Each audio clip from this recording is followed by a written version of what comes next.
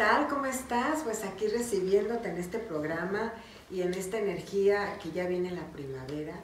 O sea, alístate porque viene con algo súper bonito, súper grande, pero sobre todo yo te invitaría a que tu energía esté puesta en ese amor brillante. Haz que brille tu camino, como tengo una amiga que dice, haz que brille tu camino, ¿no? Haz que brille tu camino de verdad porque creo que es... Eh, eh, estamos aquí para habitarnos y habitar este planeta Tierra desde esta energía, la primera energía de que es primavera, ¿no? El primer solsticio y, vamos a hablar, vamos a mencionar un poco de, lo que viene. Y para ello, bueno, pues, ¿qué te puedo decir? Pues aquí María, la maestra, y, y vuelvo a integrar porque este es nuestro último programa. Y pues yo quiero decirte gracias, María, por todo lo que nos regalaste estos cuatro ah. programas. Son muy chillona. pero, pero gracias. son, sí, happy tears. La, sí, la verdad que sí. Y es como, como abrir esta temporada, ¿sabes? Contigo. Ah. Estrenar contigo esta temporada. Eh, eh, que nos hayas hecho este regalo, ¿no? Que sin pensarlo así se, así se dio y creo que, y sobre todo que semana tras semana nos has estado recibiendo en tu casa y creo que eso no, no creo que nadie me van a envidiar porque a lo mejor nadie de tus amigas la recibes cada semana, ¿no? Y creo, creo que es importante mencionarlo, de verdad gracias. Mm. Y mi deseo para ti es que todo esto que estás haciendo siga siga evolucionando, pero sobre todo que siga creciendo, como, como, como cuando metes un sal de uvas a un vaso y que ah, florece, ¿no? Así, ah, pero a, lo, a, lo, a lo máximo, a lo, a lo auspicioso. ¿no? Gracias. A lo grandioso y a lo, extraordinario. Muchas, muchas gracias. Gracias a ti. Gracias. Entonces, bueno, pues ya conocen a María, ya hablamos de ella, que es una gran maestra y honrando a mis maestras y a mis maestros, bueno, María es la que abre esta temporada nueva de Tony Rueda, aquí y ahora. Y bueno, pues empecemos. Empecemos, empecemos. Pues muchas gracias a todos los que nos, nos están viendo del otro lado.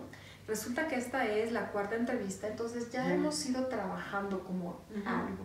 Así es. Y me encantaría que en esta última entrevista hiciéramos como una recapitulación.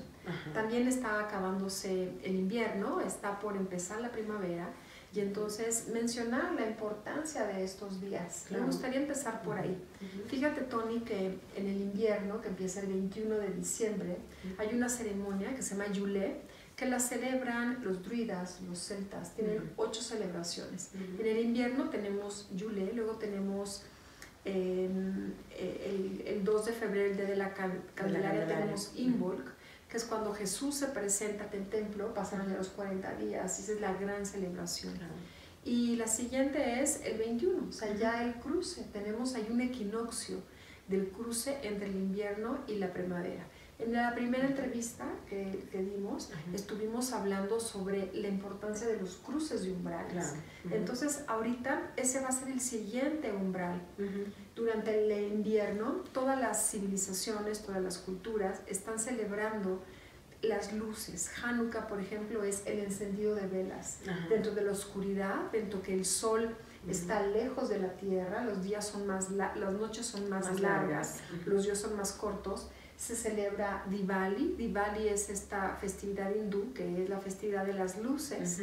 También. De las 10.000 velas que se encienden. De las 10.000 velas. Están pidiendo estas celebraciones luz en el invierno. Y hay una celebración que a mí me gusta mucho que se llama Tu Es una celebración que hacen los judíos, que hacen los cabalistas, en donde para ellos es el año nuevo de los árboles, del reino vegetal. Y en ese día se hacen muchas como rituales, pero uno que me gusta mucho es tomar las semillas de lo que vas a sembrar justamente en la primavera, empezando el 21 de marzo. Y se bendicen estas semillas, ¿no? Entonces es algo físico que estamos sembrando las semillas, pero también es algo que estamos sembrando nuestros proyectos.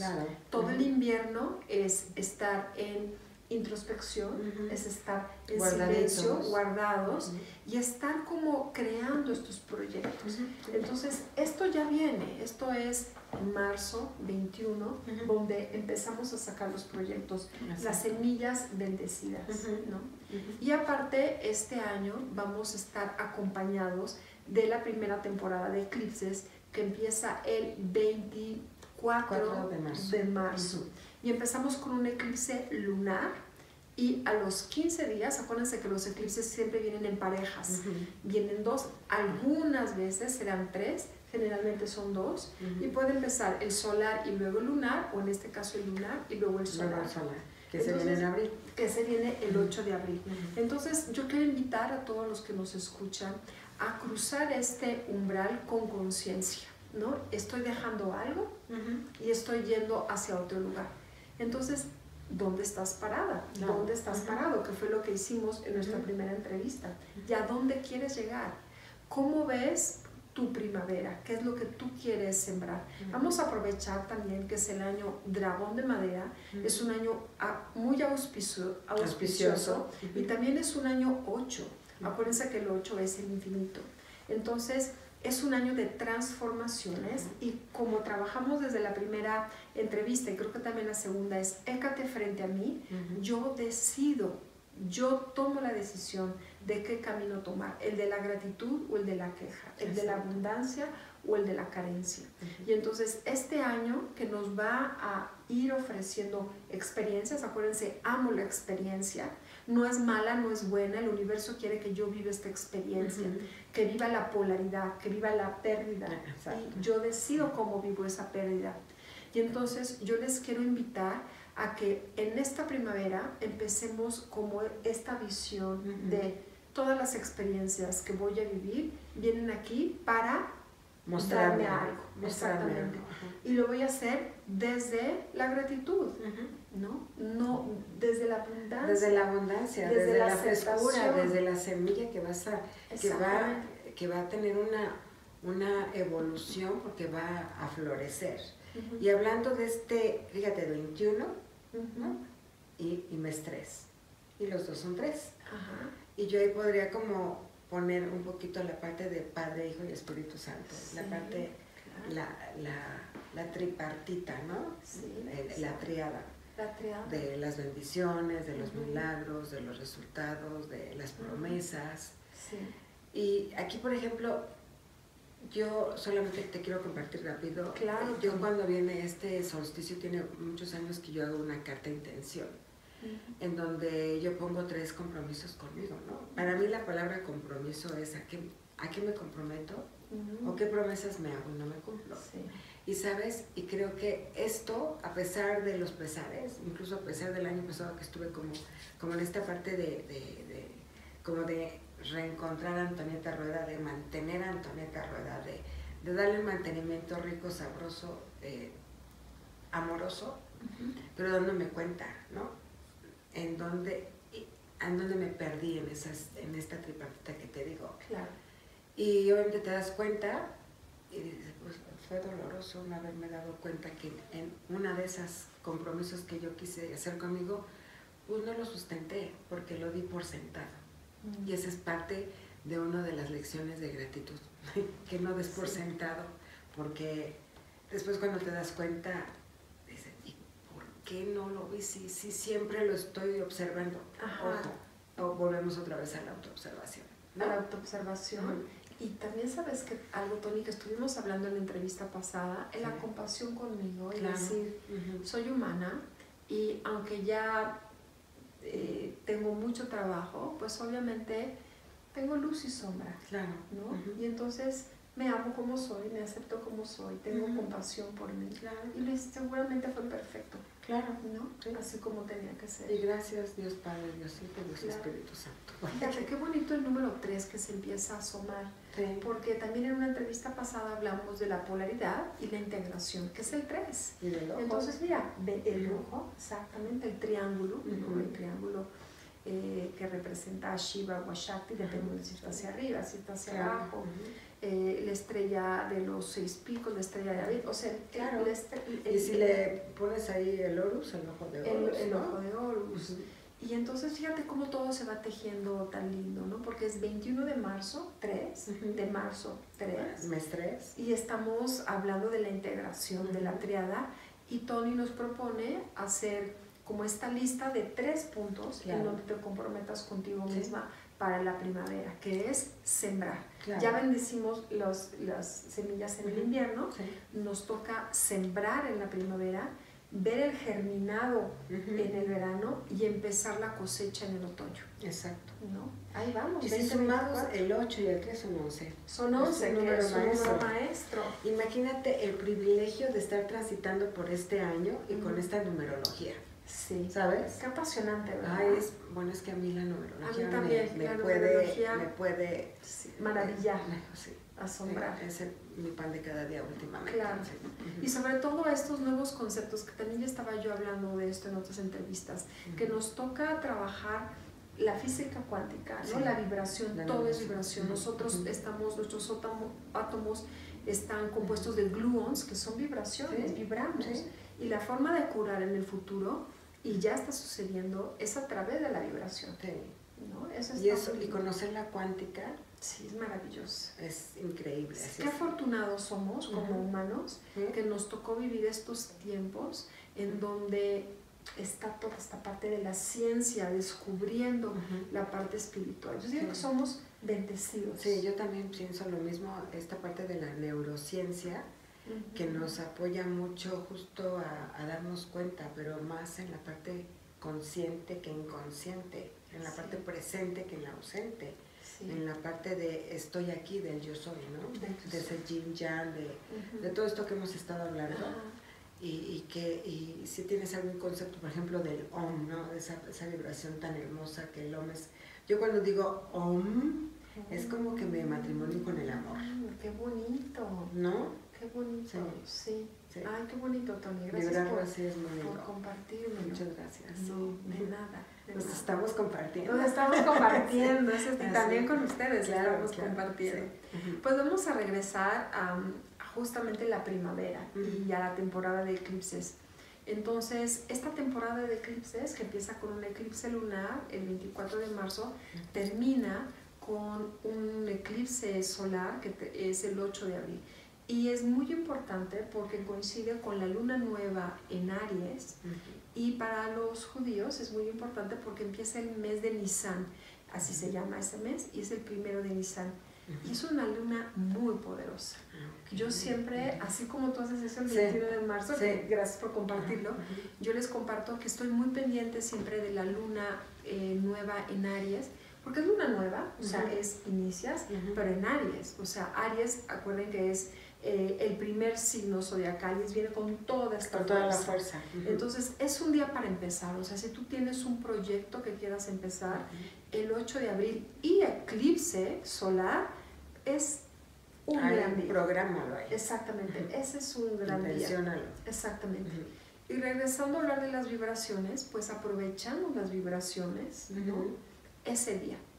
Ese día es como conéctate con la vibración de crear, de proyectar. es, es, importante Muy importante, todo, todo eso. Y esta parte del tejido, que tú, que tú estás eh, como tejedora, eh, tejedora de luna, tejedora de sí, muchas cosas. Sí, yo soy una mujer tejedora. Sí, y ahorita entretejiendo estas dos, eh, el, el, solsticio, el, el eclipse lunar y luego el eclipse solar, pero aparte entra Aries, ¿no? Eh, con el poder, la fuerza, el amor. Eh, pues te está diciendo, muévete, ¿no? Sí. Y, y, o te pateo para que te muevas, sí. ¿no? y te caigas, o, te pateo para que vueles, ¿no? Claro. Entonces, pues yo creo que desde ahí eh, habría como mucha información para los oyentes que, que entramos otra vez regresa a ti, obsérvate, hazte una pausa. Claro. Contémplate, agradecete, pero regresa al sitio donde, te, donde quieres moverte, pero toma acción. ¿no? Exactamente. Fíjate, Tony, qué interesante, porque regresamos a la primera entrevista que tuvimos, en donde las preguntas son, ¿dónde estás parado? Hacia dónde vas y con quién, ¿Con quieres, quién ir, quieres ir? ¿no? Ujú. Que con el que quieres ir ya hablamos sobre los vínculos desde la carencia o Ujú. desde la aceptación. Ujú. Y ahora en esta cuarta entrevista, eh, como abrazadas por la energía de la primavera, de este equinoccio, pues me gustaría como hacer esta recapitulación del primer punto, donde estoy parada, dos, hacia dónde quiero ir, y tres, con quién quiero ir. Y así ¿Y cómo entrar. quiero cruzar mi umbral? ¿Cómo quiero yo cruzar este umbral? ¿Con Ujú. conciencia, con no conciencia? ¿Desde la carencia o desde el agradecimiento? Fíjate, Tony, que seguramente vamos a O estar... desde en lo tu ego o tu humildad.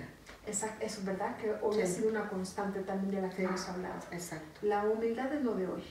¿no? Sí. El no competir con el otro.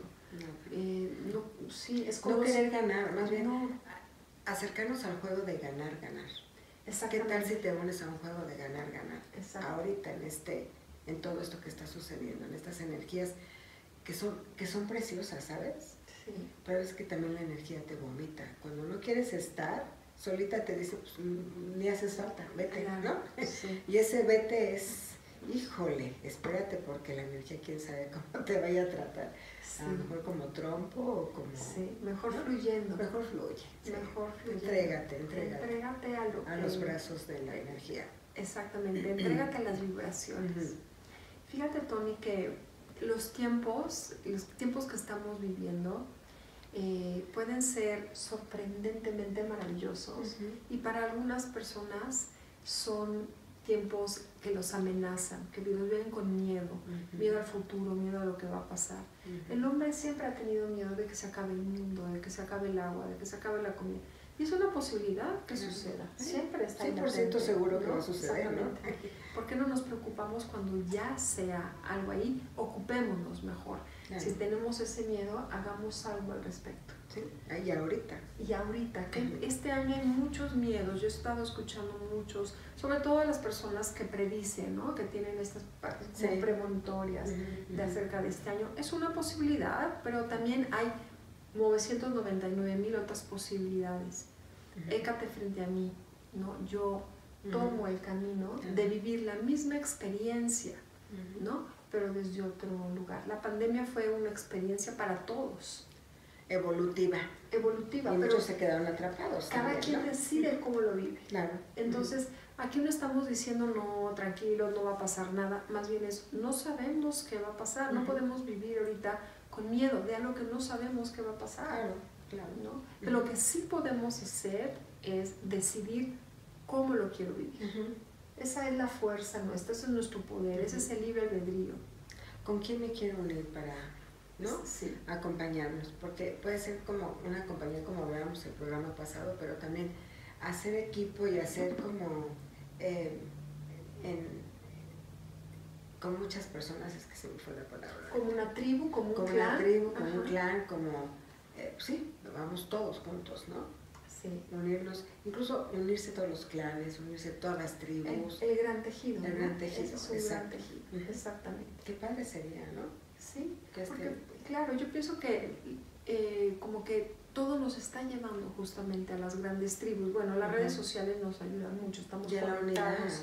ya la unidad, ¿no? Y algo dijiste hace ratito que yo me acordé que yo eh, manejo mucho esta parte de si tú brillas, yo brillo, ¿no? O sea, me da gusto tu brillo, Sí. ¿no? No puedo lo, yo... lo pusimos en un programa. ¿te En un programa, ¿te acuerdas? Me hace tan feliz que Sí. verte feliz, ¿no? Exacto, si tú eres Ujú. feliz, yo soy feliz. Claro. Y el aforismo que dijimos la, en la entrevista pasada es, escojo la paz, ¿no? Claro. Si para yo vincularme contigo tengo que aceptarte y que tú estés en paz, si tú estás en paz, yo estoy en paz. Ujú, Entonces voy a procurar que tú estés en paz. Claro. Es como una felicidad indirecta. ¿no? Tú estás en paz, yo estoy en paz. Voy a procurar que tú estés en paz. Exacto, sí. Y eso hace maravilloso nuestra, nuestra vida.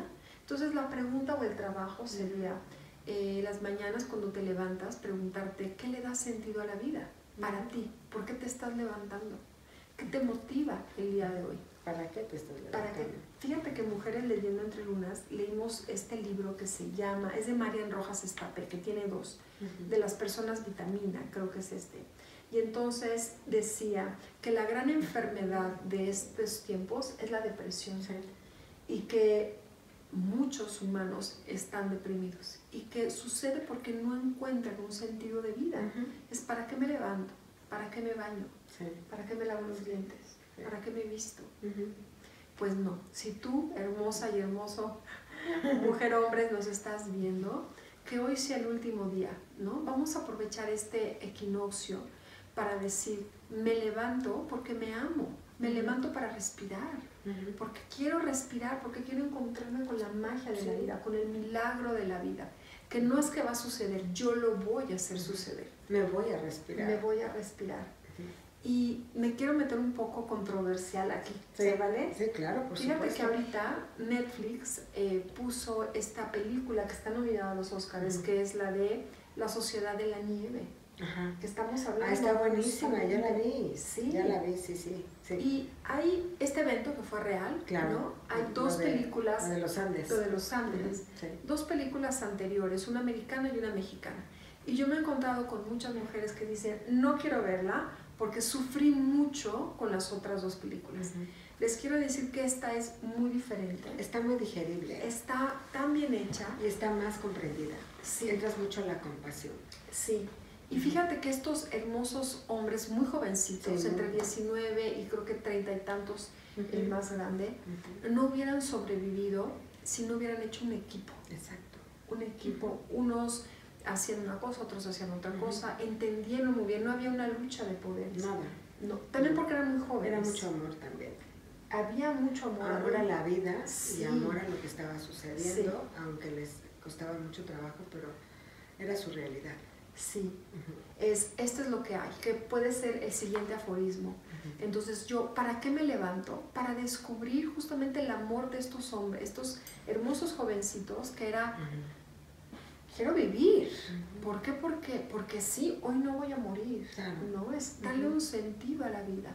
Entonces mi invitación es a que en este eh, equinoccio hermoso que vamos a tener, te cuestiones, ¿a qué quiero vivir? No, no necesito que se caiga un avión para No, entonces decir, sí. ¿a qué quiero yo vivir? Claro. ¿Cómo ves eso, Tony? Claro, y, y ningún, y sabes qué, que no se necesita vivir algo eh, estruendoso para despertar.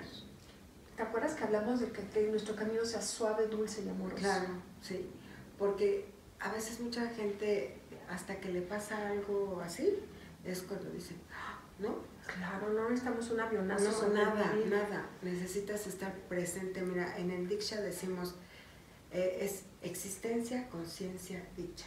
Mm, qué lindo. ¿no? Ese es el, el- como la, la tripartita del Diksha. Ajá. Es una bendición de la unidad. Entonces, existencia, existo. Conciencia, estoy presente, Ajá, pero, pero también estoy consciente. Y dicha, disfruto.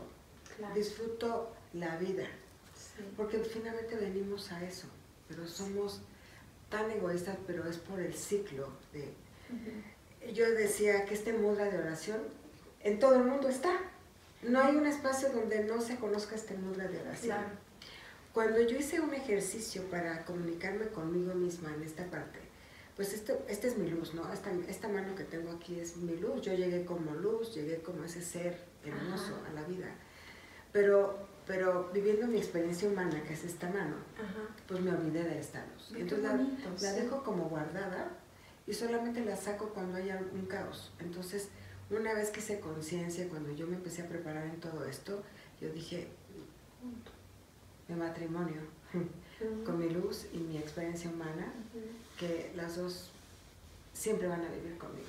Claro. Mi luz y mi experiencia humana. Entonces, mi matrimonio con eso. Sí. Y este es mi amén, mi namaste, hecho está, ¿no? Ujú. Concebido es. Concebido una mashivaya. Sí, claro, milagro, milagro, ¿no? Sí. Qué bonito, Tony, porque es la polaridad. ¿Te acuerdas que Claro. hemos estado hablando de la integración? Es Exacto. tomo una mano, mi izquierda, una parte de mi polaridad, la otra, mi derecha, Sí, y las junto en la integración. totalmente. Ay, qué bonito estamos. Fíjate qué bonito, qué Sí, bonito estamos hacer así este como, ciclo, ¿no? como cerrando Sí, todas las, entrevistas con Sí. cosas eh, muy lindas. Sí. Y algún maestro nos, nos enseñó a mí y seguramente a muchos también que somos un cuerpo. En la parte cristiana, católica, somos el cuerpo de Cristo. A mí me gusta eh, como observar o, o platicarme, ¿no?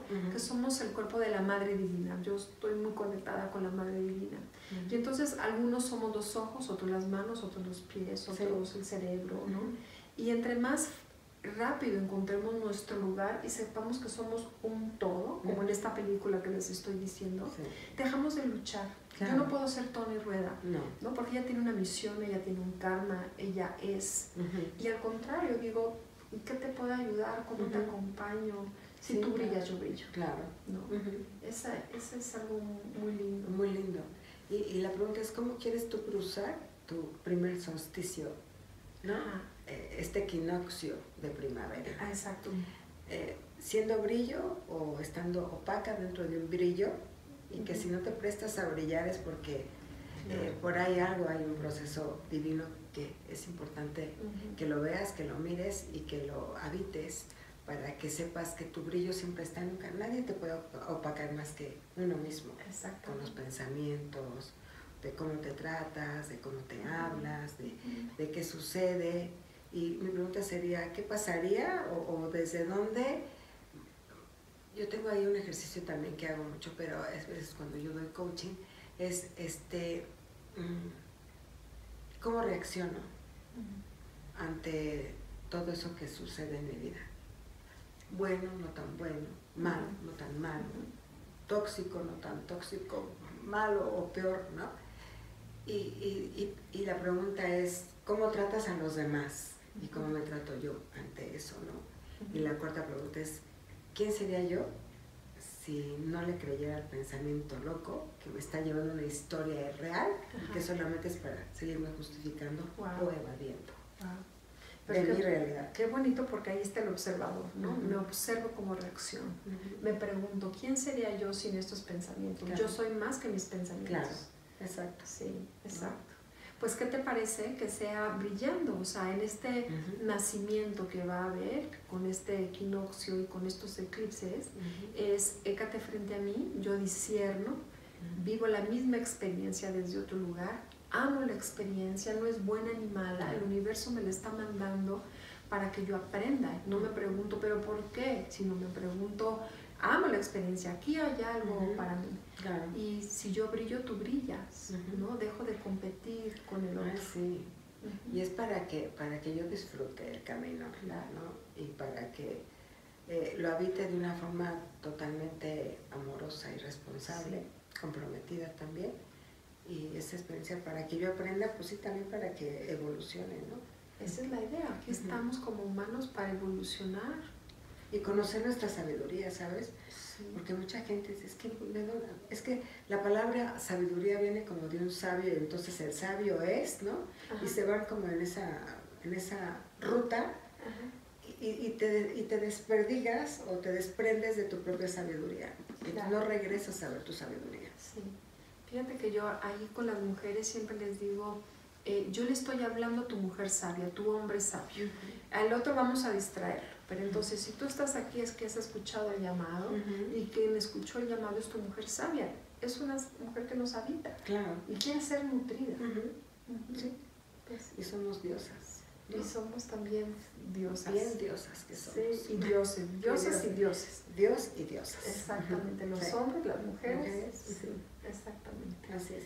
Así que bueno, pues María, nuevamente, mil gracias por todo lo que nos aportas, por todo lo que contribuyes a la humanidad, a, los, a las personas, a los espacios, ¿no? Porque yo creo que cada vez que, yo me acuerdo que cuando vine a esta ceremonia de fuego aquí contigo, yo te dije, me voy, me voy bien calientita, ¿no? Sí, llena. Llena, totalmente llena. Y, y, y cuando veníamos para acá, recorrer el camino otra vez para llegar acá. Aquí ya lo recorrí una tarde y me fui en la noche. Ajá. Pero hoy llegar de día y todo esto es como, pues qué diferencia, qué diferente es el camino de tarde, de la noche, pero que también veas tu día, ¿no? Sí. Que tú decías cómo, cómo quiero amanecer, qué quiero hacer amaneciendo. Claro. Esa es la invitación. Todos los días amanece con, pues con un llamado para ti misma o para ti mismo. Comparte el programa porque creo que va a ser importante busca a María, acá abajo están sus redes en la descripción Gracias. para que te unas a todo lo que ella hace. Y, Muchas gracias. y pues Gracias, Gracias, infinitas. gracias Gracias, a todos los que vieron todas las entrevistas o nada más esta, como sea, que se hayan eh, conectado. Bueno, pues le estamos hablando claro. a la mujer y al hombre sabio que los habita. Y todo queda en el canal de YouTube de aquí y ahora con Tony Rodo para que las vuelvas a ver si es que les quieres eh, volver a vivenciar. Nos vemos, gracias. Hasta Una semana increíble. Buen solsticio de. No, buen equinoccio, Equinoccio, de primavera.